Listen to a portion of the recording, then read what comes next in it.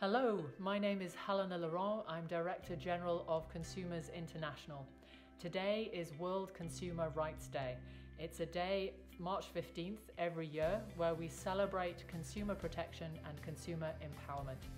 We celebrate and we thank the people who work in consumer protection to make sure that we have a fairer, safer, and more sustainable marketplace for everyone. Consumer rights are important. They're about making sure that we as ordinary consumers, as actors in the marketplace, have product and service information, that we have choice, that the products and services we buy are safe, that we have redress, that we have agency and voice in the marketplace, and that we are moving towards sustainable consumption. Consumers International is proud and privileged to coordinate our activities on World Consumer Rights Day for our members around the world.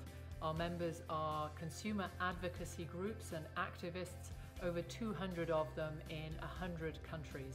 Our members choose the topic and the theme that is important for consumers everywhere. And this year, our members have chosen tackling plastic pollution. This is absolutely a global issue for consumers everywhere.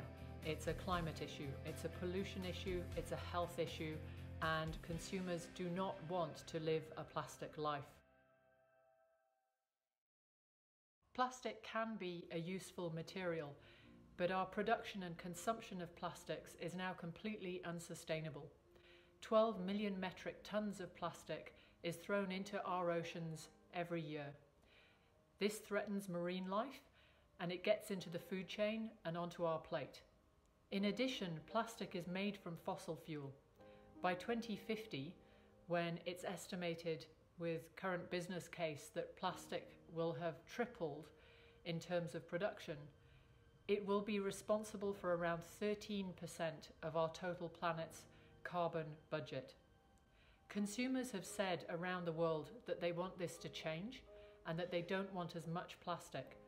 But choices are not readily available and information about plastics, for example in terms of labelling on packaging, can be misleading and confusing. On World Consumer Rights Day, together with our members, we look forward to demonstrating how consumers around the world are tackling plastic pollution and want to do much more.